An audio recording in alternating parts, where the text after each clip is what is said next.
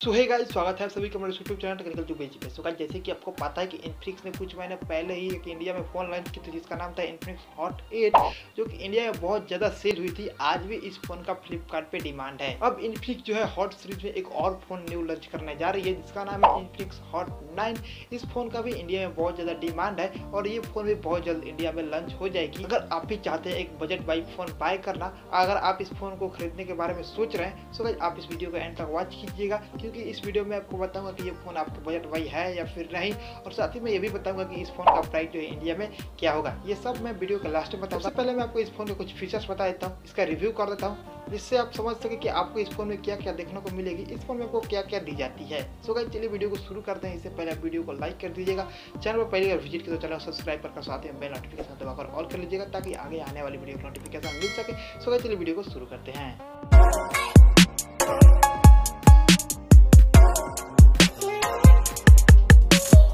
Guys सबसे पहले बात करते हैं इस फ़ोन के डिस्प्ले के बारे में। सो गाइस इसमें हमें 6.6 इंच की IPS H D plus LCD display देखने को मिलती है।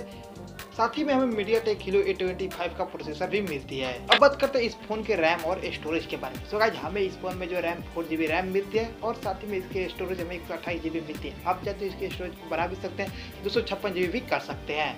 इस फ़ोन में हमें बैटरी बैकअप पाँच हज़ार एम को मिलती है। जैसे कि आपको पता होगा कि इन्फिनिक्स हॉट एट में भी बैटरी बैकअप पाँच हज़ार थी और इन्फिनिक्स हॉट नाइन में भी आपको पाँच हज़ार एम की बैटरी बैकअप दी जा रही है। सो गाइज़ अब बात करते हैं इसके कैमरे के बारे में। सो गाइज़ आपको इसमें front camera eight mega pixel को देखने को मिलती है और साथ ही में आपको बैक साइड में आपको इसमें ट्रिपल रियर कैमरा और एक लो लाइट सेंसर और एलईडी फ्लैश दी जाती है। सोलह मेगा पिक्सल का primary camera, two mega pixel का micro lens camera, two mega pixel का डेड सेंसर कैमरा और लो लाइट सेंसर। इस फ़ोन में आपको फिंगरप्रिंट और फेस अनलॉक भी दी जाती है। सो गाइज़ ये थे कुछ फीचर्स जो आपको इस फ़ोन में देखने को मिलेंगे। अब बात करते हैं इस फ़ोन के प्राइस को लेकर। सो गाइज़ इस फ़ोन का प्राइस क्या होगा इंडिया में? सो गाइज़ इस फ़ोन का प्राइस होगा इंडिया में तकरीबन सात से आठ हज़ार के आसपास इस फ़ोन का प्राइस होगा इंडिया में। अगर आप इस फ़ोन को बाय करना चाहते हैं तो बाय कर सकते हैं, क्योंकि ये फ़ोन आपके बजट वाई फ़ोन है, इतने कम दामों में आपको इतने सारे फीचर्स किसी भी फ़ोन में देखने को नहीं मिलेंगे।